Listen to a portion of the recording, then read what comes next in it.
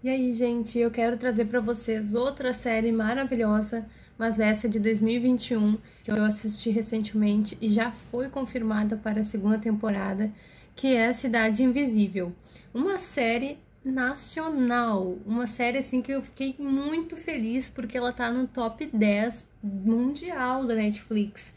Eu não sei o que, que anda acontecendo, mas realmente o cinema toda essa área assim está sendo muito bem explorado agora com esses uh, sistemas de streaming, esses programas, né?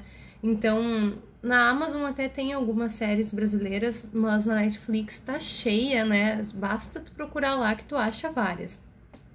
Então, eu resolvi assistir essa, que até então eu não sabia muito bem o que que era, eu só tinha visto, e vocês provavelmente devem ter visto também, a foto do Curupira com o cabelo de fogo, né? E eu pensava, mas o que, que será isso, né? Mas será? E eu descobri, claro, que é sobre o folclore brasileiro, que eu achei fantástico fazerem uma série assim e que o mundo inteiro tá curtindo. Então, eu até vi o personagem lá do Eric, né? O ator falando que ele tá respondendo vários twitters do mundo inteiro, assim, sobre a série e sobre ele tá bonito na série, né? Mas foi demais, essa série funcionou super bem. Ela tem só sete episódios, então tu olha bem rapidinho, não são tão demorados também. Mas a trama gira em torno, então, dessas criaturas assim místicas, né? Que ninguém sabe se existe realmente, mas aparece lá uma uma prainha assim que tem os moradores, pescadores, que tudo é como é mais no interior, eles têm aquela crença assim do, né, daquela coisa. E tem o Eric e a Gabriela, que são um casal, ele é policial e ela é se eu não me engano, bióloga, uma coisa assim, é, arqueóloga, que ela procura saber sobre aquelas pessoas ali da, da floresta. Não lembro exatamente o que, que ela fazia, Gabriela, mas ela pesquisava sobre aquele povo ali, sobre essas lendas do folclore. E então acontece uma festa junina que o Eric não foi, e foi só ela e a filhinha Luna, e acontece um incêndio.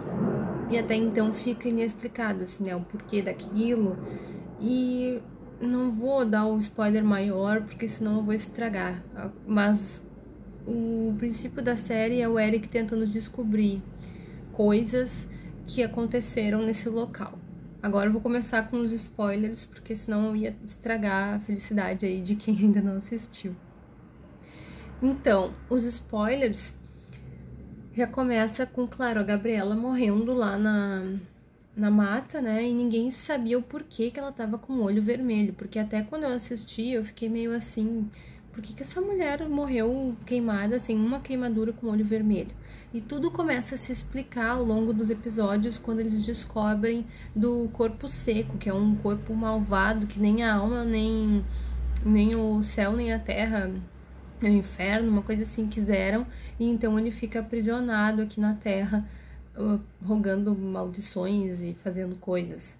E foi isso, eles soltaram esse corpo seco nesse dia do incêndio, o próprio filho dele fez isso, abriu ali a tumba, né? E hum, despertou esse mal, assim, e possuiu a Luna, e ela começou a matar todas as entidades, ela matou o Boto, ela matou né, o Tutu matou um monte, assim, e também o Eric tinha uma coisa do dessas entidades, tanto que ele vira uma depois, né? Enfim, assim, é, essa série eu achei super boa.